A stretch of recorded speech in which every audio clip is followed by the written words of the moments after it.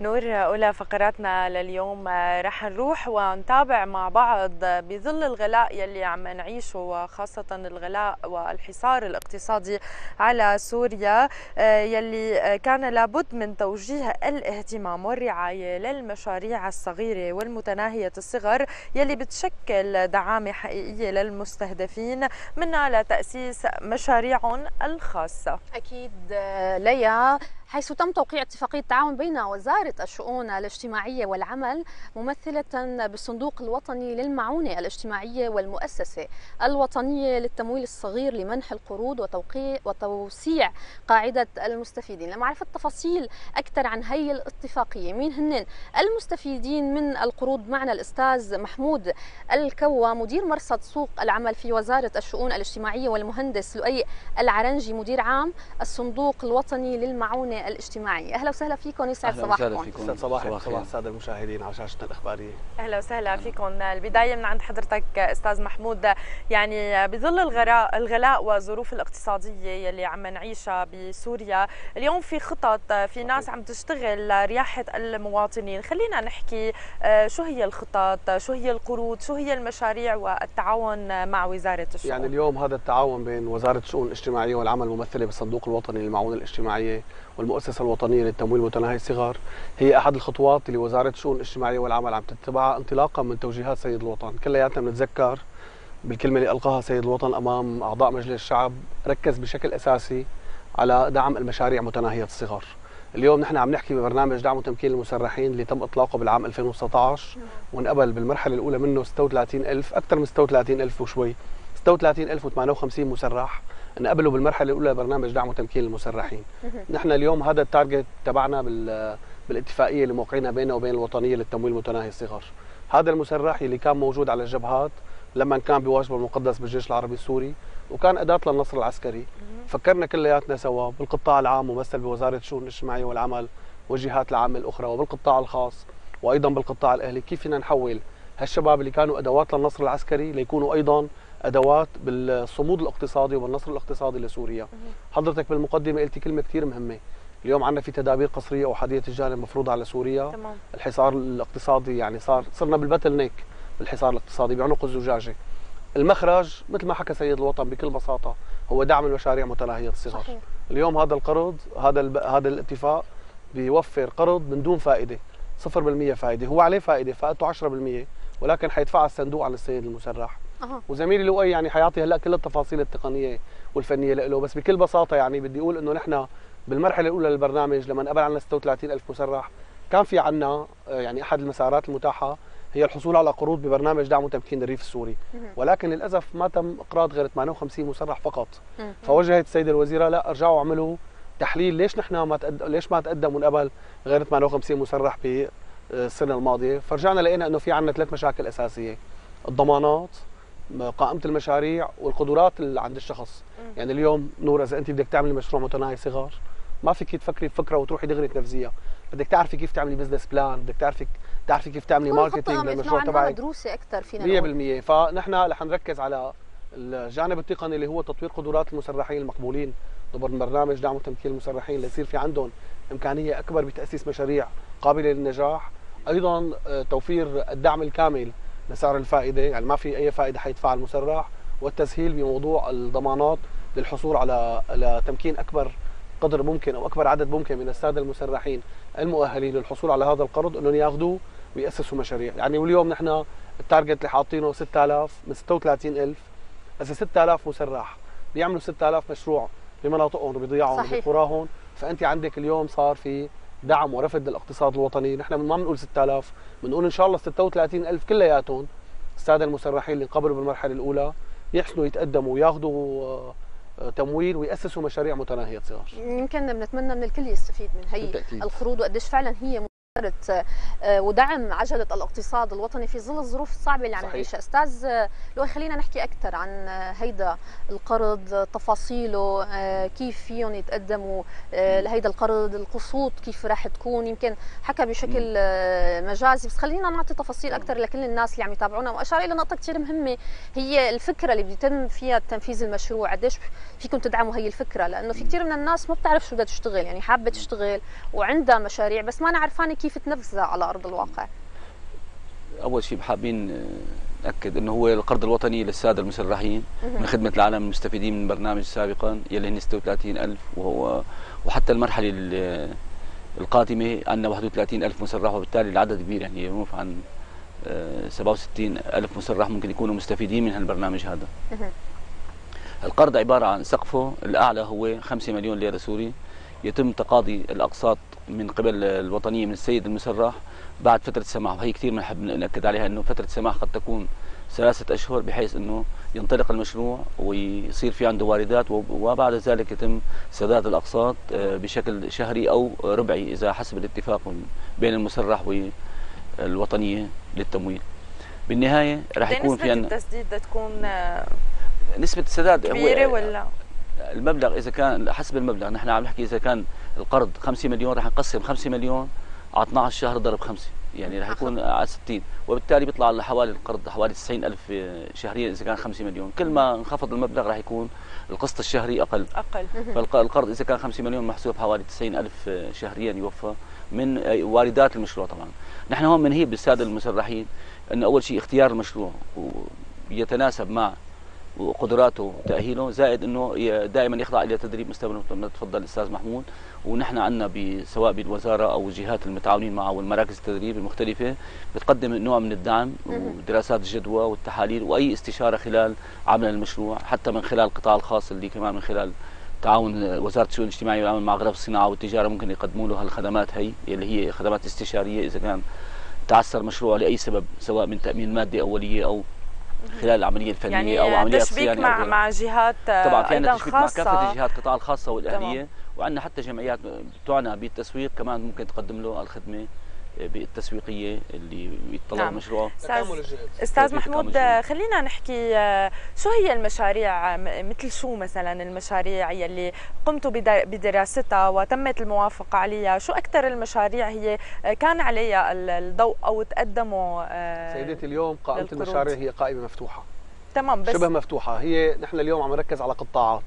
التركيز على القطاع الزراعي كأولوية والقطاع الخدمي اللي بيخدم القطاع الزراعي. لأنه هن عماد يعني الصمود بهذه المرحلة.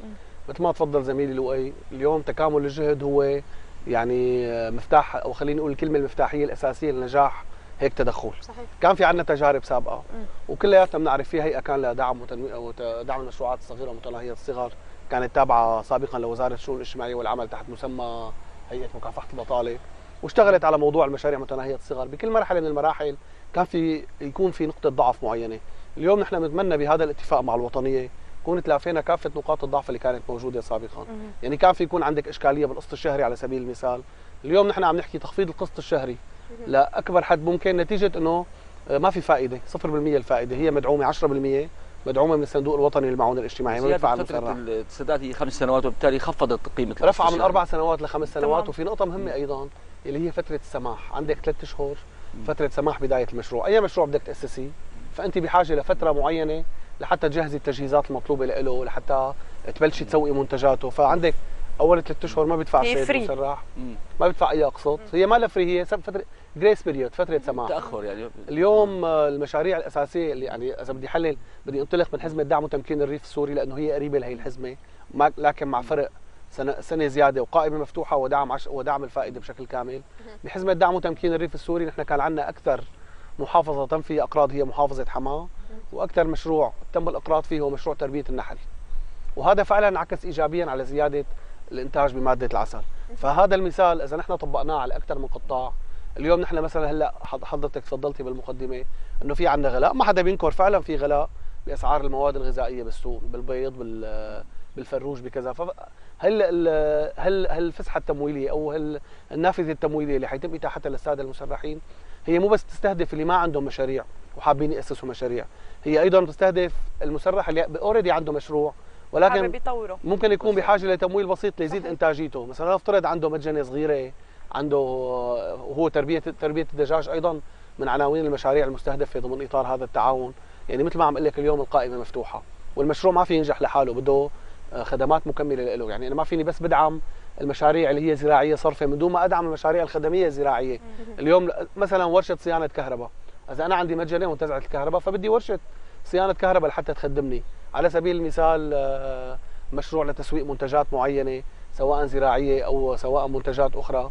فالقطاع الخدمي والزراعي الخدمي الذي يخدم القطاع الزراعي هدول اللي عم نركز فيهم ضمن إطار هذه المرحلة والقائمة مفتوحة للمسرح اللي فعلا دارس مشروعه واللي ما بيحسن يدرس مشروعه.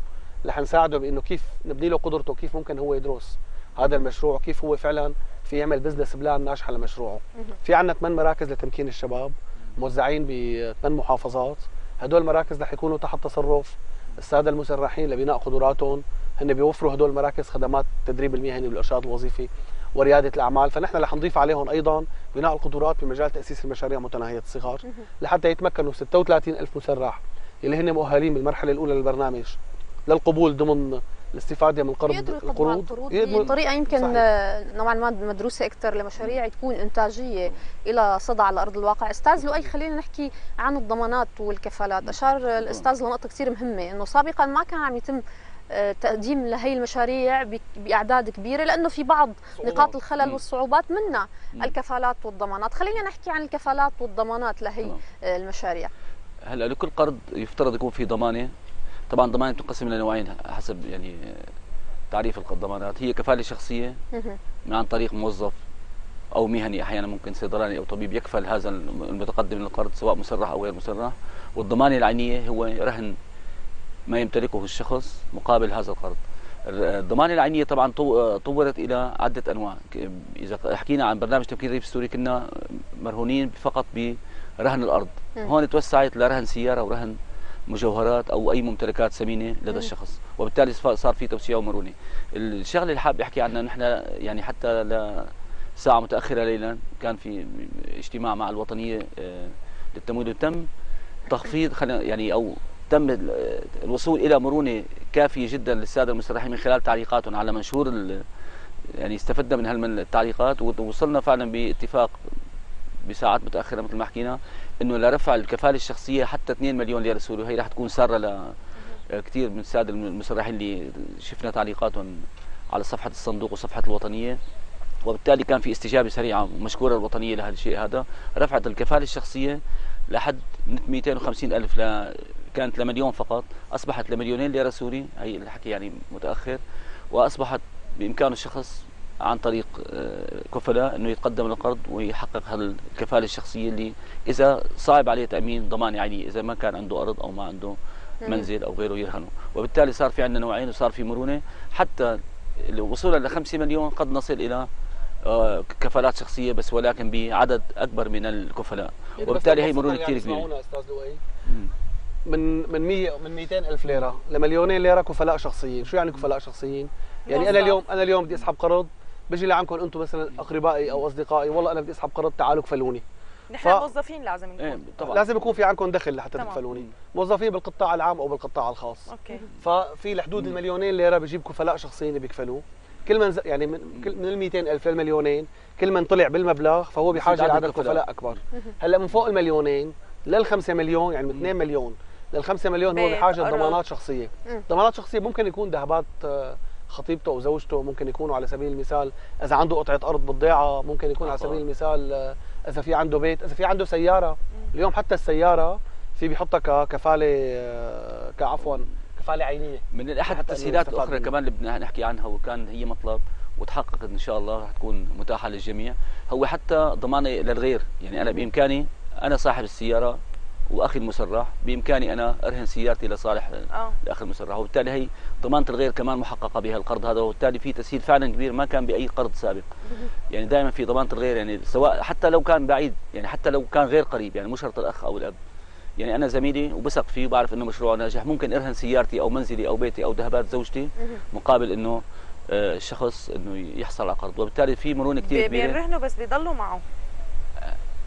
الرهن لا في- هلا في نقطة هلا السياره والمنزل أكيد. بتضل أكيد معه ولكن الذهب يوضع في مكان يوضع آمن في- إيه في- طبعا و- وامن للجهتين يعني هي الوحيد الذهب هو يوضع في مصرف عم يخطر. ببالك سؤال إنه ليش في. كفالات طيب ليش يعني في كفالات ليش ما بنعطي من دون كفالات أنا رح أجاوب لكل اللي عم يسمعونا هلا اجباري بدك كفالات لأنه إجباري. اليوم هذا هذا. المبلغ اللي عم تقرضي فيه السادة المسرحين اللي هو لنفترض أنا ما بعرف 5 مليار أو 10 مليار موجودين لدى الوطنية هذا المبلغ لحتى انت تقرضي فيه مسرحين جدد لا بده يكون تكوني يرجع. دارسه لحتى طبعاً. انك تسترديه من اللي يكون اقرضتيه ترجع تعطيه لمسرح جديد مثل ما تفضل زميلي الأستاذ يعني. لؤي نحن 36000 مسرح بالمرحلة الأولى رجعنا فتحنا باب التقدم لبرنامج دعم وتمكين المسرحين من كم شهر وتقدم له 31800 مسرح فنحن يعني بدنا نخلص بال 36000 هدول لسه في عنا 31800 بس لتضمن استمرار هو. هيدا.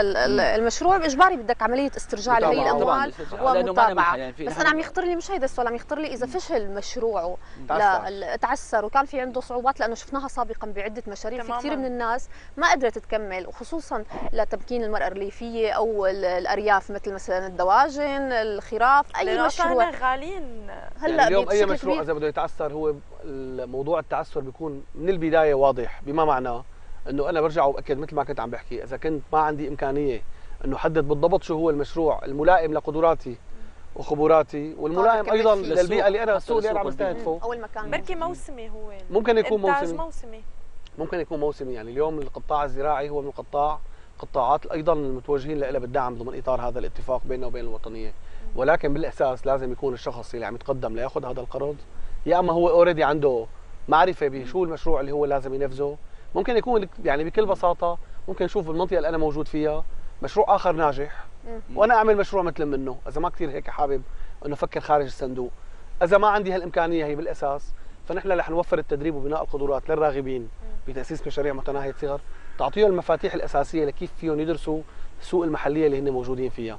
تلبية الاحتياجات المجتمعيه على المستوى المحلي هي مفتاح النجاح. انت هذه اليوم النقطة هي نقطة كثير مهمة لأنه هلأ عم نشوف كمان وزارة الزراعة والوزارات المعنية هي عم تقدم تسهيل لتسويق المنتجات يعني عم تفتح لهم صحيح. آه، أماكن مخصصة لتسهيل حتى عملية بوزارة الشؤون الاجتماعيه. والعمل في آه، 37 مركز للتنمية الريفية. صحيح. وعندنا تقريبا ما يقارب ال 130 أو 140 ماني متذكر رقم على وجه الدقة.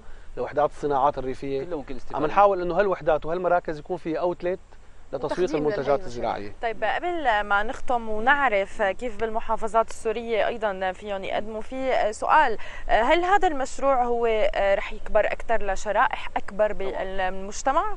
يعني في دراسة لشرائح أكثر؟ هلا ممكن توسع نحن مبدئيا دائما بنركز يعني كوزارة شؤون اجتماعيه عمل وصندوق بنختار شريحة واضحة جدا مشان يعني يضمن هل نضمن أي البرنامج نضمن نجاحه على المستوى القريب ويكون فعلا نقطة انطلاق إيه،. نقطة انطلاق للشرائح الأخرى وبالتالي نحن مسرحين هي فئة اختيارها هي فئة محددة وواضحه جدا. المسرح من أمضى خمس سنوات وقبل في البرنامج أو أصيب وبغض النظر عن سنوات خبرة وبالتالي في آه، شريحة زائد هي شريحة شباب كمان محددة إنه عمريا. وبالتالي نجاحها راح يكون كبير. وبالتالي نحن نجاح البرنامج هذا يشجعنا أمام الحكومة لطرح وتوسيع الشرائح المستفيدة المستفادة من هالبرنامج. هذا قد تكون أسر الشهداء فيما بعد أو الجرحى أو غيرهم. كأولوية وانطلاقا لشرائح أخرى في المستقبل القريب إن شاء طيب الله. بالختام خلينا آه، نذكر لكل اللي عم يتابعونا بجميع المحافظات وبدمشق كيف آلية التقديم على هي القروض آه، أول شيء بالمحافظات اللي متذكر بالمحافظات اللي حاليا النشاط فيها راح يكون هو عبارة عن محافظة دمشق محافظة السويداء محافظة حلب محافظة طرطوس واللاذقية. خلال الشهر القادم 1 10 راح تكون ينضاف إلى المحافظتين آه، حمص وحماه من خلال استضافة الصندوق للوطنيه بفروعنا آه، بهي السنة حاليا وبالتالي أصبحنا حوالي سبع سبع محافظات إضافة لمكتب بجبلة بيدعم آه، فرع دمشق؟ لاحظته دمشق وريف دمشق. دمشق وريف دمشق طبعا هذا المواطن بيتوجه لوين؟ بيتوجه لفروع الصندوق بالمحافظات عندنا فروع بفرع فرعنا بحاميش بدمشق. في عندنا بال- بطرطوس فرع وأربع مراكز تتبع لهذا الفرع وبالتالي قريبه على السادة المسرحين بأماكن سكناهم. وباللاذقيه عندنا بمدينه اللاذقية نفسها وبقرى اللاذقية بع- بأربع أو خمس مراكز محددة. طبعا بإمكانكم الرجوع بإمكان السادة المسرحين الرجوع لصفحه الصندوق أو صفحتنا والرجوع إلى دليل البرنامج موضوع الدليل من منذ أيام على صفحة الصندوق وصفحة. بكل بساطة كل اللي عم لا، يسمعونا بعد الصندوق بيتوجه خلال خمسة أو يعني خلينا نقول خلال 15 يوم يراجع الوطنية خلال حصول شو هي الأوراق اللي لازم تكون معه؟ الو- نحن ما بدنا أي ورقة منه لأنه المسرحين نحن محددين عنا واسمائهم عندنا طبعاً. وفي برنامج يعني برنامج هو برنامج دعم المسرحين. وبالتالي كلها موجودة بس يفتحوا على صفحة الصندوق الوطني على الفيسبوك ورح يشوفوا كل التفاصيل كل التفاصيل موجودة من الصندوق عنده دليل. 31 مركز وفرع موجودين بكافة المحافظات رح يكونوا عم يشتغلوا جنبا إلى جنب مع مكاتب الوطنية للتمويل المتناهي الصغر لحتى يستقبلوا السادة المسرحين ويسهلوا لهم أمورهم ليحصلوا على هذا القرض تمام. نحن بدنا نتشكركم وناطرين آه، نشوف بشائر الخير من المشاريع. ناطرين حضراتكم تكونوا معنا مع المستفيدين من المشاريع بحلقات خاصة لحتى آه، نشوف كيف الاستفادة ولحتى إن شاء الله هيك يكبر القروض أكثر وأكثر وتستهدف شرائح أكبر. شكرا أستاذ محمود شكرا أستاذ لؤي. أهلا وسهلا. نتشكركم أكيد على وجودكم معنا. نتمنى من جميع آه، المسرحين يستفادوا من هي القروض وتكون فعلا لها عائد على الاقتصاد الوطني. بدي اشكرك المهندس لؤي العرنجي مدير عام الصندوق الوطني للمعونة الاجتماعيه والأستاذ محمد الكواب مدير مرصد سوق العمل في وزارة الشؤون الاجتماعية. شكرا كثير لكم. شكرا شكرا